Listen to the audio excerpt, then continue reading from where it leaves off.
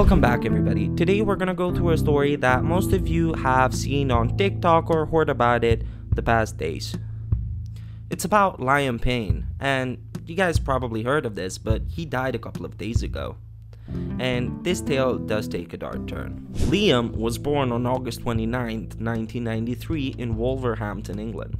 Growing up, he was just a regular kid with an amazing passion for music. He loved singing, participating in school plays, and dreaming big.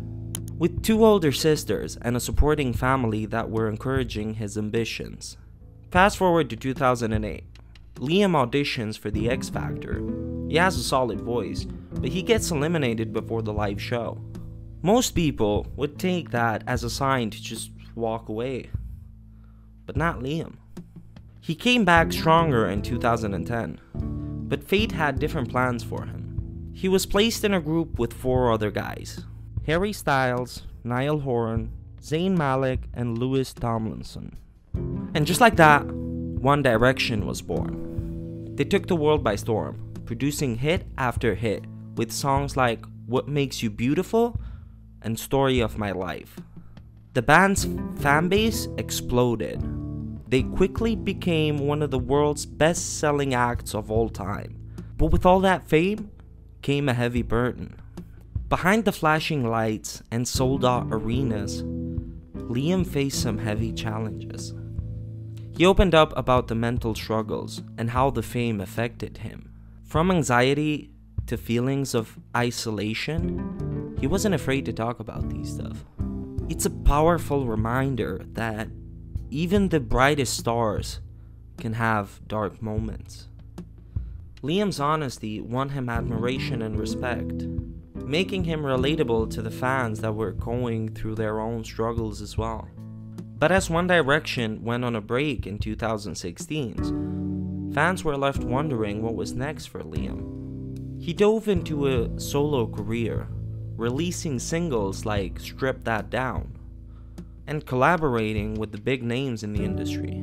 The music world was buzzing with excitement, but little did anyone know that darker days were ahead.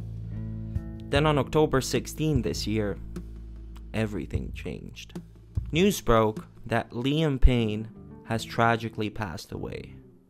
The world stood still as shockwaves rippled through the music industry and his fan base.